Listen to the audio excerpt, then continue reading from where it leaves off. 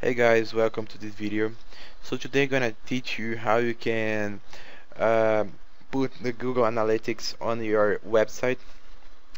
So let's get started. First, I'm gonna create a new blog. So you might ha already have a blog. So in my case, I don't. So I'm gonna create a new one for this video.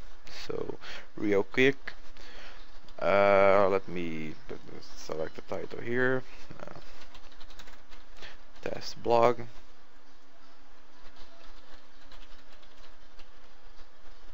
Alright create a new blog so let's wait. Alright so now we have we have a new blog here. Now we're gonna access the Google Analytics web page. Alright so here we are access Google Analytics. So uh, guys if you don't have an account on Google Analytics you just need to press sign up. It's real quick. So don't worry if you don't see this this screen here. It's because I'm already signed up to Google Analytics. I already have a website here too so if you don't see this window you see a different window. Uh, just wait a bit and keep watching this. So if you already have an account of Google Analytics you're gonna do this here. Uh, you're gonna go to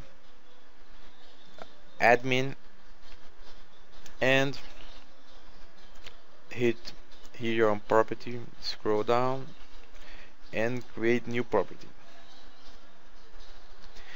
now guys if you just sign up you're probably on this screen so now you can follow my steps. Uh, now you're gonna give the website a title to track. Uh, let's say test video blog. You're gonna grab the blog URL real quick. Here we are. Paste here gonna select the category. I put here. Now I'm gonna hit the button get tracking ID this is my tracking ID here. Uh, what you're gonna do now is go back to Blogger and go to settings and author. Now you're gonna see here Google Analytics analytics web property ID so you're gonna paste it here. And hit save settings. Alright. Now let's go back to Google Analytics web uh, main page. Just click here. And you're gonna see all your websites. Now the website that I just added was this one here. I'm gonna click on it. Our website data and now let's do a real real quick test. So uh, I'm gonna refresh the page here. And let's see if it's, if it's working. Uh, I'm gonna go to the real-time statistics overview. As you can see here it's working. It's saying that somebody's on the site so in this case it's me. So it's working.